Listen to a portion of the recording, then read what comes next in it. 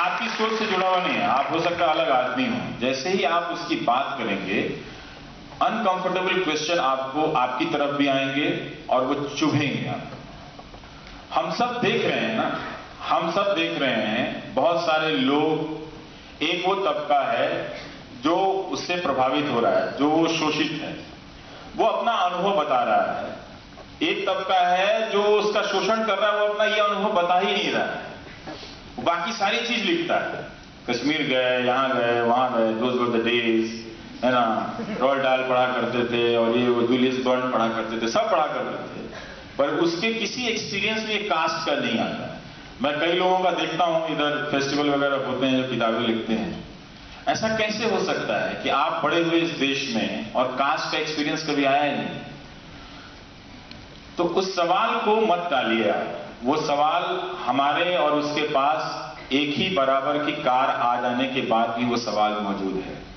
और उस सवाल का सामना किए बिना अगर आप आगे जाएँगे, इस डेवलपमेंट का कोई मतलब नहीं है, क्योंकि आप हमेशा अपनी कार के लिए थ्रेटेड फील करेंगे। ये एक बगावत में, एक विद्रोह में, जो मेरा अपना सवाल का सामना, ज़रूरी नहीं कि कोई कार आके तोड़ दे चार सवालों का जवाब आप दे नहीं पाया इंटरेस्टिंग बात है ना कि जो रोहित के ही आ, केस के सिलसिले में जितने भी दलित वेबसाइट हैं उस पर राइट विंग के लोग जाके क्यों नहीं हमला करते हैं? क्यों नहीं बहस करते हैं उससे? अगर आप राइट विंग को थोड़ा सा क्वेश्चन वो आपके साइड पे आ जाएँगे आपको गाली दे देंगे आपको एंटी रिलीजियस कर देंगे उनको क्यों नहीं जाके बोलते? नहीं बोल सकते। हिम्मत नहीं है ना, क्योंकि वो जान रहा है, वो रियलिटी के, ठीक है, उसमें कुछ अतिरेक होगा, कुछ एक्स्ट्रा ज़्यादा भावुकता होगी, होती है। जो जिस हाशिए के समाज से आते हैं, उनमें थोड़ी भावुकता भी होती है।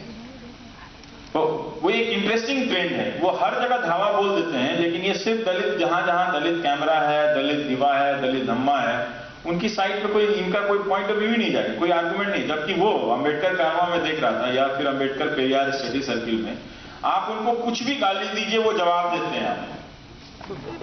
वो जवाब देते हैं। वो कुछ ना कुछ कहेंगे कि हाँ आप ब्रांडिकल ऑर्डर और वो एक पूरा एक कॉन्स्टिट्यूशनलिज्म तरीका जो है उनका, उसी से। वो नहीं कहता कि हम आपका सर फोड़ देंगे, अगर आप आइए, बाहर हम आपको बताते हैं कभी उनकी जबान से ही बात लेकिन हाँ उनके सवाल इतना ज़्यादा तल्ख होते हैं, वो चुभ जाते हैं। वो ठेले की तरह ही लगते हैं। तो कोई जाता नहीं है सबको पता है उन संगठनों के बारे में।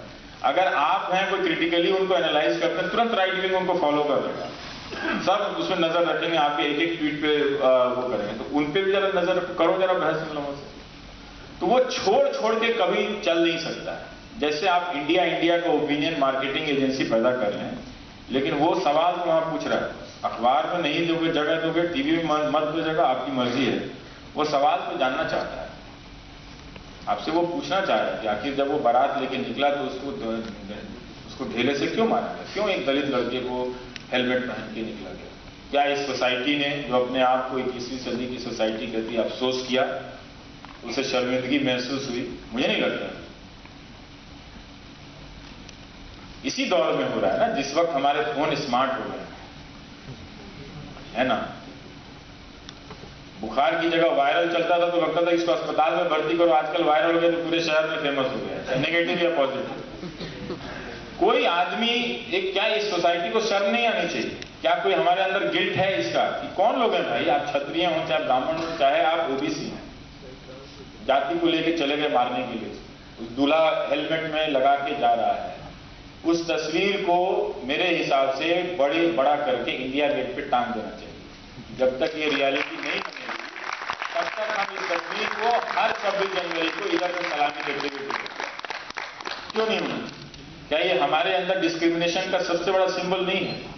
ये क्या सत्तर के दशक का जब हमने नहीं देखा उसी वक्त जब हम अपनी बायोग्राफी लिख रहे हैं नहाने खाने का इससे मिलने का उसी वक्त वो लड़का एक तस्वीर आ रही है कि उसे दलित होने के कारण घोड़े पे चल रहा है। इसलिए भागिए मत। हिम्मत पैदा कीजिए उसके पास जाने का। सिंपथाइज कीजिए एम्पथाइज कीजिए एक्सेप्ट कीजिए बहस कीजिए। भागिए मत इस सवाल से। और ये सवाल उठाना कहीं भी कास्टिस्ट नहीं है।